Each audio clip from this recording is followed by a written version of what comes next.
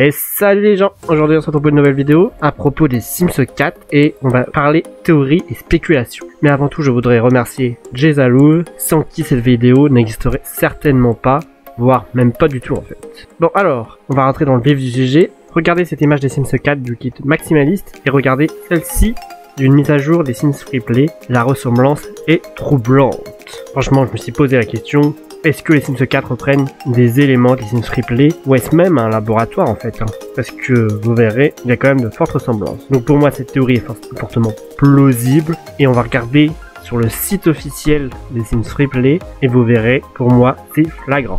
Euh, je vous précise quand même qu'on va pas parler en détail du contenu, ça reste des jeux différents entre les Sims 4 et les Sims Replay et c'est pas conçu pour le même support à l'origine.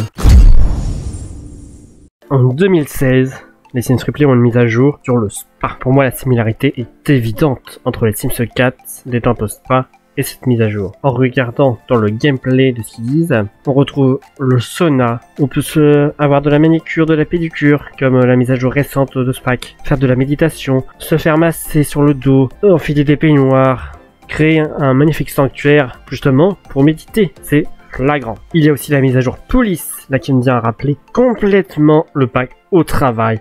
On dispose d'une carrière comme dans les Sims 4. On grimpe les échelons comme dans les Sims 4. Il y a du matériel spécial et tout, des objets spéciaux comme dans les Sims 4. Nous avons une carrière Halo Docteur comme dans les Sims 4 au travail. On retrouve une carrière star de cinéma comme dans Hors de Gloire. Tiens comme par hasard, une île tropicale.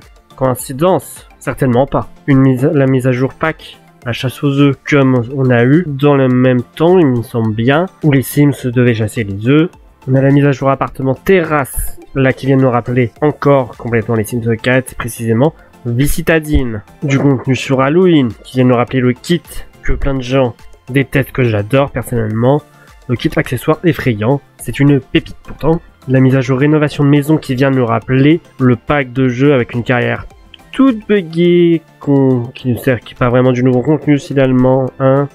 Typique, c'est à s'y méprendre quand même. Par contre, là, un four à pizza, je le veux ça. Et puis, il y a eu récemment le pack mariage, on peut faire la comparaison avec cette mise à jour, mariage rustique, on retrouve des éléments, on a presque les mêmes tenues. C'est flagrant, encore une fois, pour ma part. Et une fois qu'on a écarté toutes ces thématiques qu'on peut retrouver dans tel pack, tel contenu, telle mise à jour, on en ressort du contenu qu'on n'a pas actuellement. Et pour moi, c'est possiblement les prochains contenus ou les prochaines thématiques qui seront développés pour les Sims 4 précise thématique, car dans les Sims 4, les différentes mises à jour des Sims Replay ont été regroupées dans des add-ons, par exemple, comme avec les Sims 4 Escapade enneigée, où on retrouve le ski, euh, le sport euh, d'hiver, avec la thématique du Japon. Ainsi, on peut retrouver des thèmes qu'on n'a pas forcément. Là, par exemple, pour moi, cela serait plus un kit. On nous parle de mise à jour oasis dans les airs. On retrouve des éléments plutôt ethniques, amérindiens. Après, je me connais pas trop, hein. On retrouve du coup des matériaux naturels, de l'osier, du tissage, tout ça.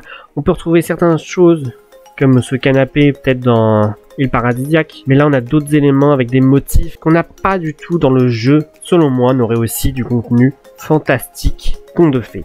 Là, c'est une mise à jour sur le de masqué qui nous donne des éléments, des objets, tout ça. Ça peut être kit, hein. Mais pour moi, ça me rappelle aussi, du coup, la mise à jour de Vie à la campagne où il y a cette ambiance bucolique. Blanche-Neige. Hein. Il y avait l'image de Blanche-Neige, je me rappelle de la première image avec cette petite dame avec les petits oiseaux, là. Ça me faisait penser à Blanche-Neige. Et avec cette mise à jour là, ça me fait penser tout de suite à la Belle et la Bête et au Loup-Garou. Un pack de jeux Loup-Garou, ce serait trop bien. Et je me rappelle aussi qu'il y a eu des faits, une mise à jour fait il y a pas mal de temps, au tout début des Sims 4 je pense, il me semble bien, où il y avait des grosses fleurs, tout ça, j'essaierai de vous mettre une image. Et ça me fait rêver d'avoir ça dans les Sims 4. Je l'espère, hein. mais ça reste théorique hein, tout ça. Hein. Un contenu commerce aussi, avec un centre commercial. Ma petite tête se rappelle qu'il y a eu des sondages par-ci par-là à certaines, certaines périodes, et le centre commercial revenait dedans. Intéressant. Un autre thème, le côté nautique, qui pourrait être un kit d'objets, mais il y a les hôtels dans la tête qui traînent. C'est apparu dans un, dans un sondage aussi. Je me dis pourquoi pas, on retrouve aussi plusieurs thématiques de destination dans les mises à jour, donc des hôtels. Ça pourrait revenir, hein. c'est aussi demandé, il me semble bien par la communauté, en tout cas j'en ai envie.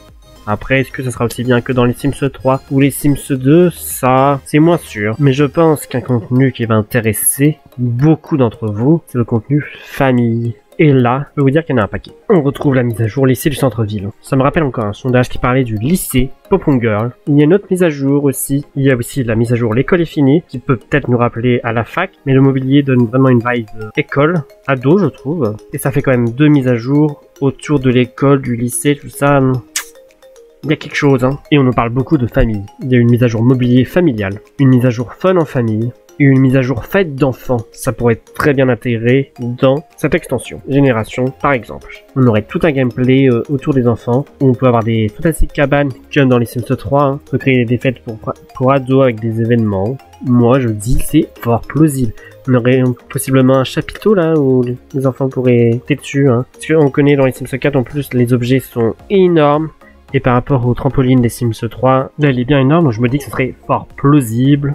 Il y a une mise à jour garderie, hein. ça peut se rappeler, à se rapporter au, kit pour un bain, mais je me dis, qu'il pourrait améliorer le système de garderie, créer une carrière active comme dans les Sims 3 génération. Il y a eu récemment la mise à jour, la mise Tutti hein, qui apporte une nouvelle gamme d'objets, d'éléments, euh, très scandinave, vintage, hein, qu'on peut créer avec euh, différents packs, mais pas ensemble vraiment. Du coup, on a plein de fruits partout, c'est mignon quand même. Hein. J'aime bien l'ambiance. Vintage, moderne en même temps scandinave. Hein.